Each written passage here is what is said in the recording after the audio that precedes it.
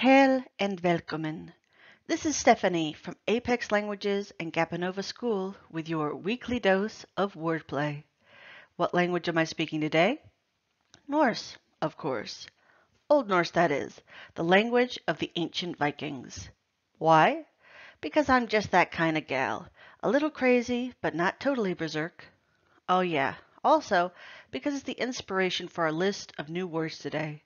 Let's check them out, shall we?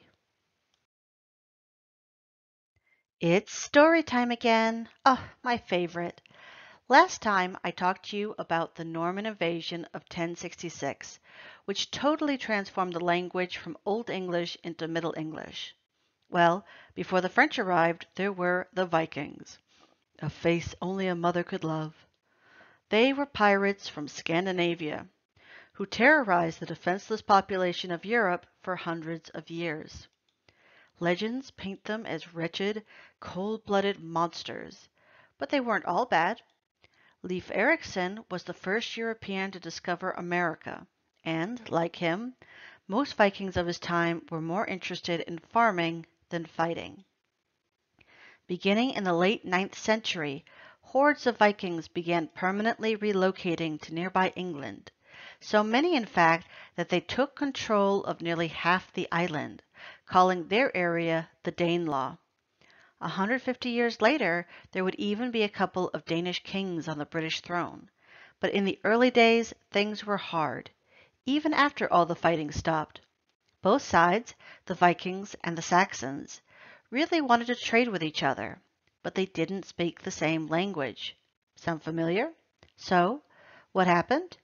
Something rare and, in my opinion, wonderful.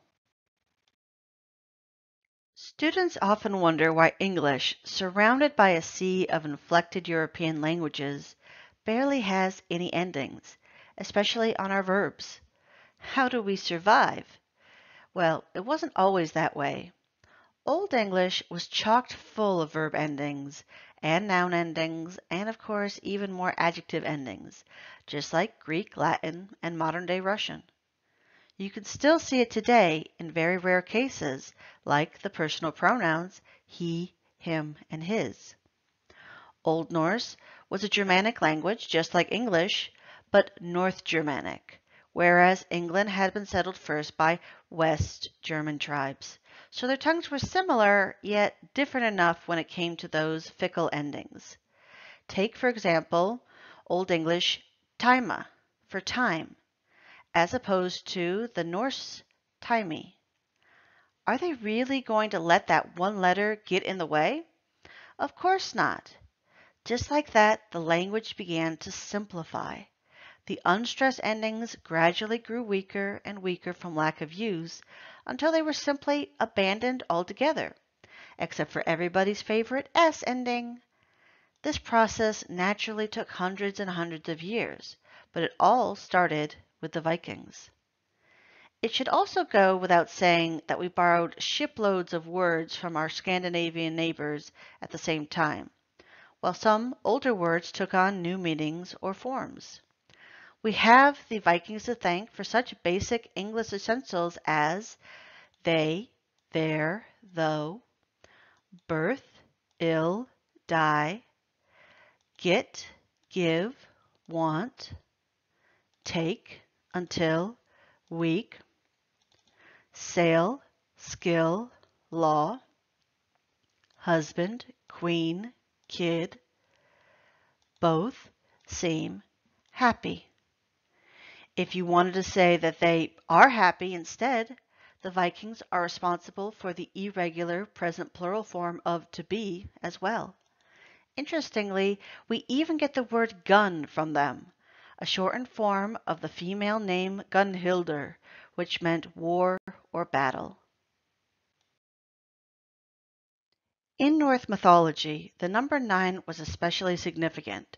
So today I'm going to introduce nine more Viking words that you may be less familiar with. The first one is berserk. Repeat that with me. Berserk.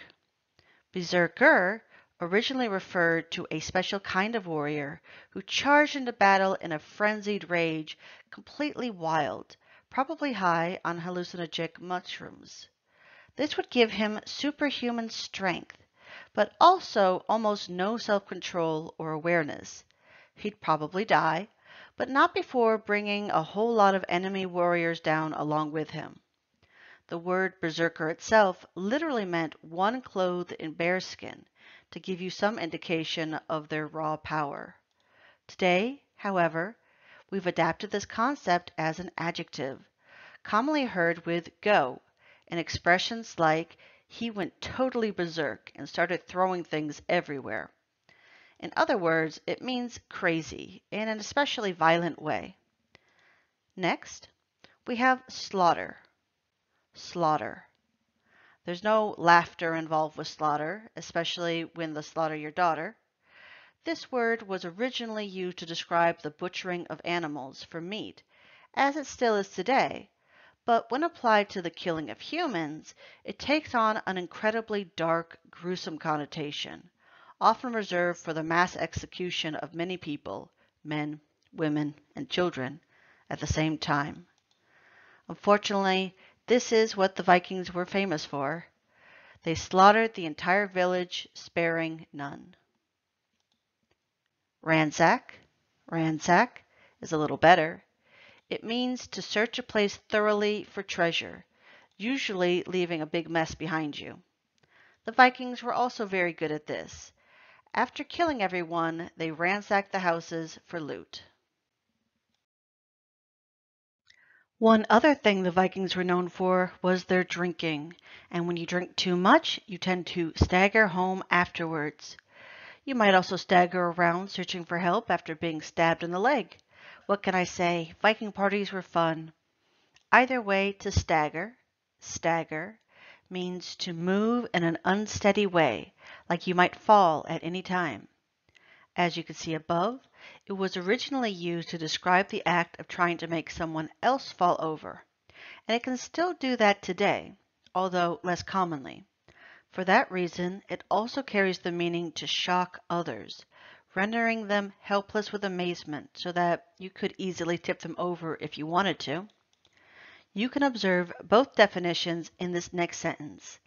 I was staggered when, after five drinks, she staggered to her feet and demanded the keys. Along with our next word, blunder, blunder, Norse also gave us the related words mistake and wrong, both very common to language learners. To the Vikings, it meant to shut one's eye, which evolved into stumbling around blindly and awkwardly, another Norse word, in the dark. And from there, to make a dumb mistake, due either to carelessness or confusion. It doubles as a noun, describing such an error, as you can see in this next sentence. Without having studied, he blundered through the test, making lots of blunders. Both of these words do a good job describing an oaf. Oaf, who is a clumsy, stupid person. It's actually the Viking version of elf, also used to describe foolish or similarly defective children who they believed had been left by fairies kidnapping their real, smart and capable children. Oaf is, of course, meant to be an insult, much like calling someone an idiot. Let's practice being jerks together. Stop staggering around here, you blundering oaf. So, between all the murdering and stealing and drunken idiots, Life under threat of Viking attack must have seemed pretty bleak. Bleak. At what point that word must have had positive connotation, because it started off as shining white. But that soon faded to pale blonde and gradually worse still to washed out gray. It's now used to describe any scene or situation that is empty, exposed, or disheartening, like a dreary rainy day or my bleak proposals of winning the lottery and becoming a millionaire. Oh, I need a hug now. At least my problems aren't as bad as these guys. The bleak landscape filled them with bleak thoughts about their death. What's a Saxon supposed to do? You could just sigh and accept your fate, c'est la vie. Or you could start talking, or gabbing, with your neighbors to try to drum up some resistance. Gab, gab, is a much more light-hearted verb than bleak, originally meaning to brag, joke, or make fun of someone else. Nowadays, however, it simply describes light conversation between friends. The conversation itself can be referred to as a gab, although not particularly often. If you're a talented speaker, though, people might say that you have the gift of gab. That being said, gab can carry the negative connotation of someone who talks too much in an annoying way. This is especially true when used as an adjective, gabby, also an unfortunate girl's name. The gabby old ladies gabbed and gossiped away for hours. That was a good gab. Finally, we come to thwart. Thwart, which is what you're hoping to do to your enemies, assuming you can talk enough people into joining your army. To thwart means to defeat an opponent, or at least frustrate them enough that their plans against you fall apart and fail. To the Norse, it simply meant across. And that is also reflected in some special speciality definitions still in use today. But by and large, it's all about conflict across battle lines. The emphasis is really on trying to beat someone by ruining their plans before things get too bad, not on seeking revenge after the fact.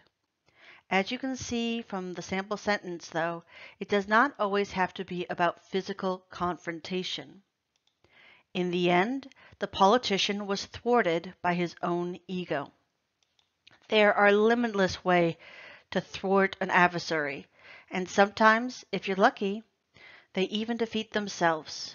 We are our own worst enemies, after all. Of course, I can't go without sharing your idiom of the week, up in arms. This prepositional phrase refers to a group of people who have had enough. They're furious with their situation, so much that they're ready to pick up their weapons and start fighting back.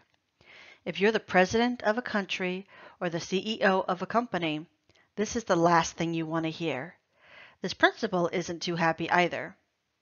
Parents were up in arm about the school's new policy and demanded immediate action or else they'd start withdrawing their children. Arms is a good example of how the same word can have multiple roots and cause a lot of confusion as a result. This weapons definition traces back from Latin, via French of course, while the arm hanging off of your body's definition is Germanic in origin. Since it's so close in meaning, I also want to share one more idiom. Have an axe to grind, which means you have a serious complaint or other selfish motive you intend to deal with. In today's society, cutting someone's head off with an axe, grinded for extra sharpness, is generally frowned upon. But we can always go complain really, really loudly. And if that doesn't work, maybe we'll take them to court as well. Our final sample sentence reads, I'm here to see Doctor Who. I've got an axe to grind with him about a bill he sent me last week. And, by the way, if you're wondering whether it's an ax or axe, they're both correct. Axe with an E is the most popular spelling right now, but it tends to change from decade to decade. Don't worry about it. It's not worth getting up in arms about. I wouldn't dare skip our practice activity. Otherwise, you'd have an axe to grind with me. So here it is. What is an important issue that you are up in arms about? Write an angry, but not too angry letter to thwart whoever you have an axe to grind with. The goal here is to keep the language civil, without going totally berserk and making the other person think that you're a blundering oaf. Good luck! I'll see you again next week with a new set of words to gab about. Until then, no slaughtering anyone. Thanks for watching.